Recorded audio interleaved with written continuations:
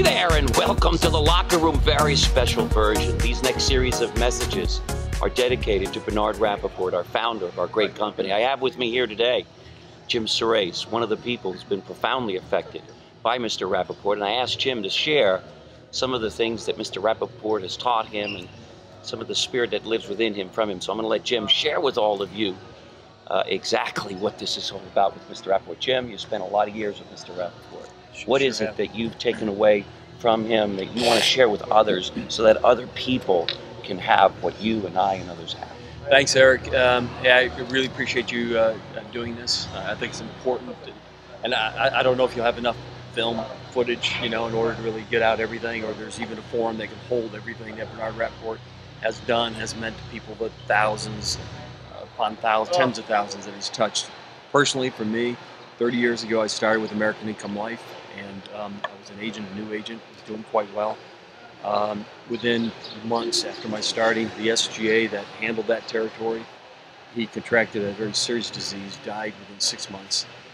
And you know, I was an aspiring young man, but new to the company. And you know, I was uh, obviously ambitious, you know, and uh, uh, really was interested in the promotion. But there was many others around the country that were interested in handling areas such as Cleveland, Ohio, uh, large union population, and so forth. And I was actually shocked, you know, that you know Bernard not even knowing me, but having the kind of instinct that he had, that he allowed me to take over the reins uh, of Ohio. You know, being new to American Income Life, and for him to uh, repose that kind of confidence and trust in me, uh, it, meant, meant quite a bit. You know, for a young man starting early in a, in a career. And you know that that never waned. I mean, we, we had good moments, we had tough moments, we had valleys that lasted maybe a year, two years that I would say that most corporations might have given up on me, but he never did. And he was like loyal to his, I just I to, to his uh, discernment.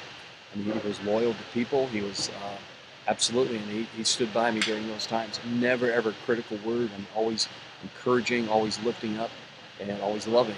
And uh, it was that, and he got me through those times to where, where I'm at today. I'd say Bernard Rapoport was absolutely uh, an encourager of the human spirit. I mean, it didn't matter, and I've been with him, as you know, Eric, you have too. I've been with him when we've been in, in, in sen- with senators, and uh, or, or, he, he was the same with senators as he was with with the, the fellow ran the elevator. I mean, he encouraged people, and people wanted to be who he professed them to be. People wanted to be um, who he thought that they, they were. And, and Bernard Rapoport was always someone that absolutely pronounced the light rather than address the darkness. He saw the best in people and he encouraged that best. And people became better just being around him, just listening to him. Um, you know, Bernard, you know, I, you know, you've heard it said that um, the people are, are one in a million. Uh, for Bernard Rapoport, Eric, I know you'll agree without a doubt. There's only one. There's only one of him, and I don't know if there'll ever be ever be another.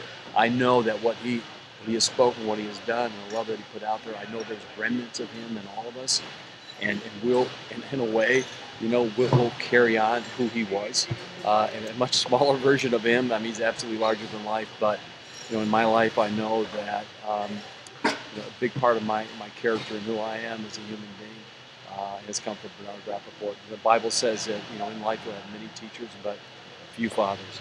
Bernard Rapoport was a father. He a father to me. Was a father to you, Eric. And a father to, as I said, thousands. Love you, B. Yeah. Thanks, Eric, for Thank giving you, me this Jim. time. Thank you for sharing all of this, and to all of you, thank you for tuning in. Thanks, Jim. If you've enjoyed and feel that the Daily Locker Room has served as an inspiration in your life, why not take this moment and do the same for a friend by sending them the daily message?